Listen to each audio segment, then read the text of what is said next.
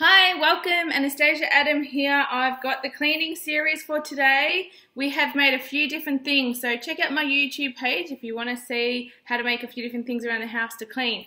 Um, I'm going to quickly show you how to do a bathroom cleaner.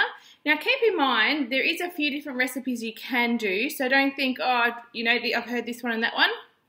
Um, it's okay. You can do a few different ones. So I've played around and I've really enjoyed cleaning with a few different ones. Today I'm going to show you a, a bathroom cleaner with a 500ml bottle. I've filled it half with water and half with vinegar.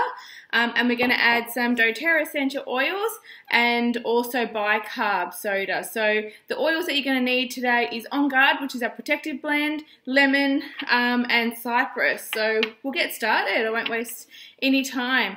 We've got On Guard, 10 drops.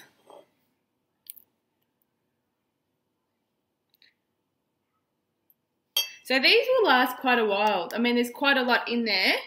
Um, so don't be afraid um, that, you know, it's not going to last long. There is 250 drops in these um, essential oil bottles um, and 10 drops per time we're making this. So there. And the great thing about your glass bottles is they're reusable. And we're going to put five drops of cypress.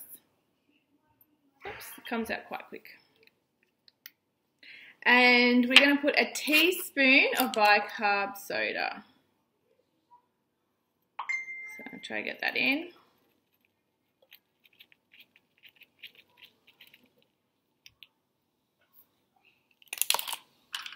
Oops. Whoa!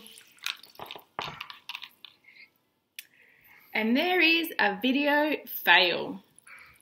All right, it's calmed down now. But this is our bathroom cleaner. I didn't expect that to fizz up. I should have known it was going to fizz up like that. But we got our bathroom cleaner anyway. Hope you enjoyed, guys. If you want to know more about essential oils, please email me at welcome at anastasiaadam.com.au or follow me on Facebook.